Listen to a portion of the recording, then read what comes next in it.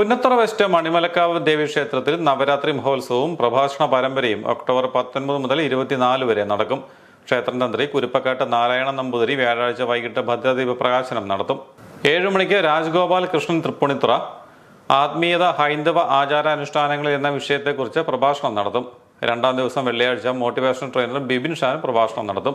മൂന്നാം ദിവസം ശനിയാഴ്ച ലഹരി വ്യാപനത്തിനെതിരെയും സൈബർ കുറ്റകൃത്യങ്ങൾക്കെതിരെയുമുള്ള പ്രഭാഷണങ്ങൾ നടക്കും.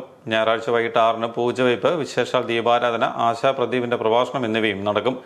തിങ്കളാഴ്ച മഹാനവമി ദിനത്തിൽ എം ബി അപ്പു പ്രഭാഷണം നടത്തും. വിജയദശമി ദിനമായ ചൊവ്വാഴ്ച ക്ഷേത്ര മേൽശാന്തി മുട്ടത്തുമന മഹേഷ് ദാമോദരൻ നമ്പൂതിരിയുടെ കാർമ്മികത്വത്തിൽ രാവിലെ ഗണപതി ഹോമം വിദ്യാഗോപാല മന്ത്രാർച്ചന ഏഴിന് പൂജയെടുപ്പ് വിദ്യാരംഭം പ്രസാദ വിരണം പത്തിന് ശ്രീവിദ്ര വാദികലാ സമിതിയുടെ ചെണ്ടമേളം ദക്ഷിണവയ്പ് എന്നിവയും നടക്കും. ക്ഷേത്രം trust president Sivasankaran Nair secretary Chandrababu ആലകിൽ vice president K S Suresh joint secretary Mohanan A എന്നിവർ നേതൃത്വം നൽകും.